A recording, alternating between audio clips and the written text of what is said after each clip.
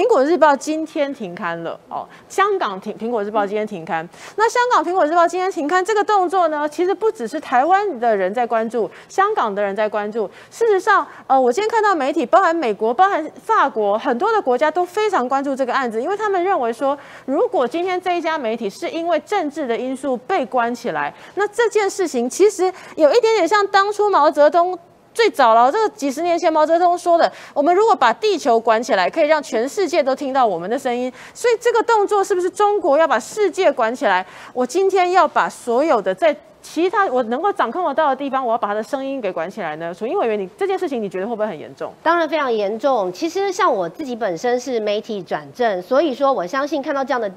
呃的题题目跟问题的时候，是特别的有感触的。其实，在上个礼拜四，也就是十七号。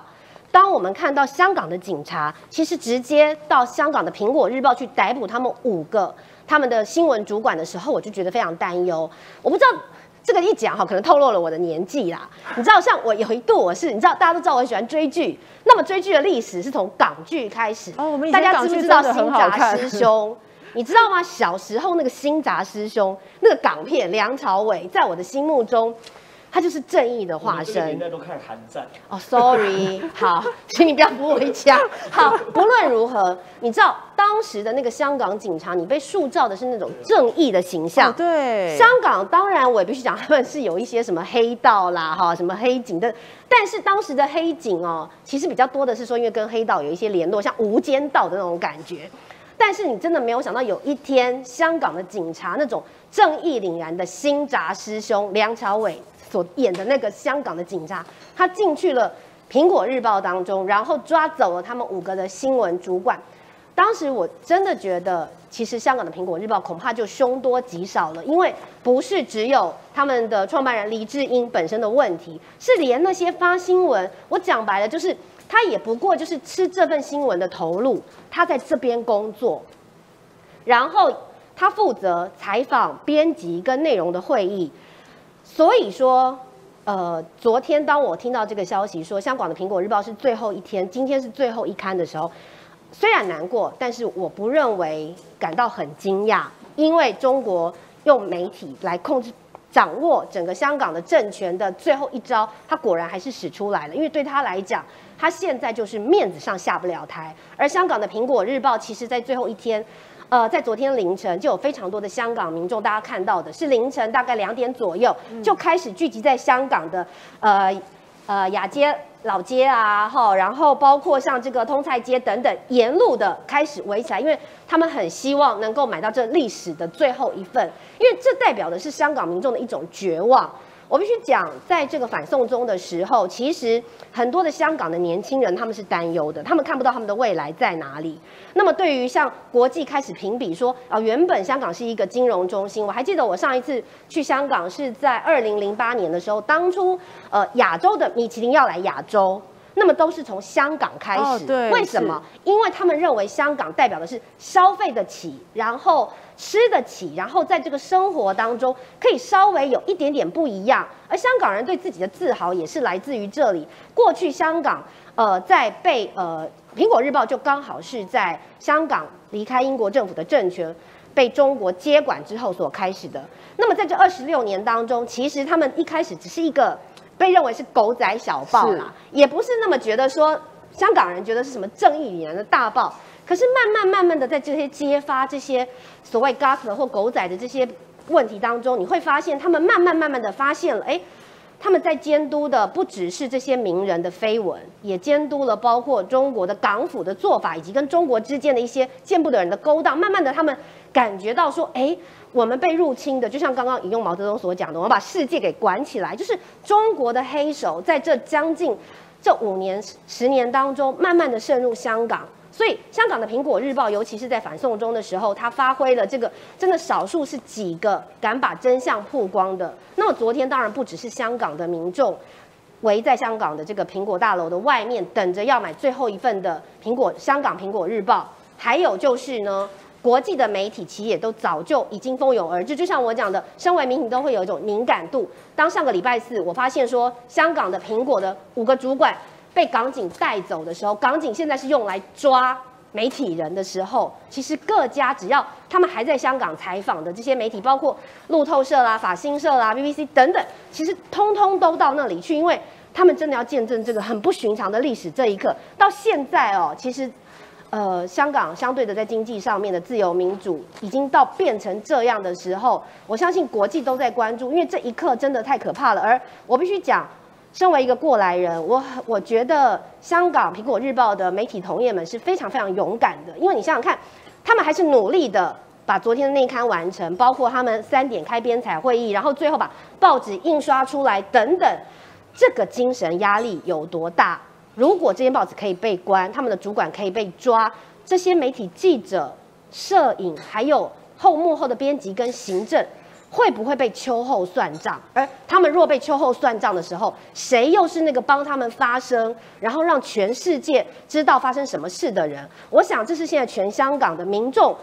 所最恐惧的，我想真的这种感受是一个非常绝望的感受哦。尤其媒体是一个我们讲媒体在最重要的责任就是把真实的事件让大家呈现。但是当呃在立政治立场上不同的一个媒体会被这个所谓中国政府直接以所谓国安法等等的方式让它关起来的时候，那未来这个这个地方它的声音它的不同的立场要怎么样揭露？我昨天我看到陈柏伟委员他有接受到香港苹果日报最后的一个访问，那他说跟他访问的那个人跟他说，如果如果我们还有办法联络，如果我还看得出来的话，你就会看到报道。然后未来到底还有没有机会联络，也不知道了。事实上，心是很痛的。但是香港其实刚刚楚英有也提到，香港除了是呃一个重要的一个我们讲政治经经济的枢纽，它尤其有很特殊的状况是说，尤其像它有个特殊的地位哦，像中呃之前。美国就会是把香港视为它对于香港跟对中国的相关的经济法规是不一样的。那么很多的国家也会把中香港视为一个在我们亚洲这边非常重要的金融经济的一个枢纽。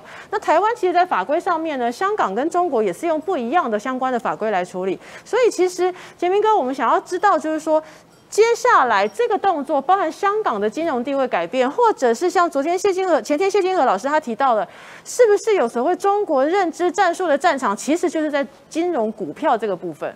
呃，非常明显，呃，这非常明显，因为呃，不要说是谢金河写的这篇文章，他大致上就是说，最近有一些呃香港的这些外资券商突然之间把台湾的这些股票呢的价格突然压低，而且都是以半导体为主，哈，大概这样子。那我实际上，我们因为我们都是有接触股票市场的人哈，那不知道我们听友没有在做股票？那就是同个券商叫汇丰哈。那我们知道香港呃，香港汇丰是一个很重要呃，汇丰是以香港为主体的一家这个券商，但是它的主要股东结构已经慢慢变成中国的哈。哦。那在今年三月份的时候，因为这个联发科决定要配三十七块现金股利嘛，加上它现在的市场占有率已经超过了高通，因此呢，这汇丰呢，在今年三四月份的时候就把联这个。呃，联联发科呢就调到了一千四百五十块的目标价，就前几天呢，突然媒体惊爆，他把联发科价格呢调降到八百块，那当天就让联发科跌了大概十九块钱嘛，哈。那那个时候那个讯息出来的时候，我我我其实看到讯息，我是吓一跳，我说怎么会这样子呢？因为同时间呢，就在同个报纸上面呢，苹果说今年他看好今年到明年哦，整个五 G 手机的换机潮。所以它的这个整个销售量呢，又回到二零一七年的高峰期哦，总共是二点一亿只。你把这两个讯息都在一起，又觉得这边一定有鬼，因为呢，包括了我们五大这个电信商、四大电信商都说，整个就是电信的需求呢，已经形成 V 型反转，就是说去年为底哈，今呃去年底到今年初为底，下半年开始呢，叫 V 型反转。这个五 G 的换机潮会因为随着基地台增加而有庞大的生意。所以你比对这个情况下，那中国当然更不用说。中国最近爆出小米的业绩也不错啦，什么业绩也不错啊。对不起，他订单是跟谁下的？他订单是跟这个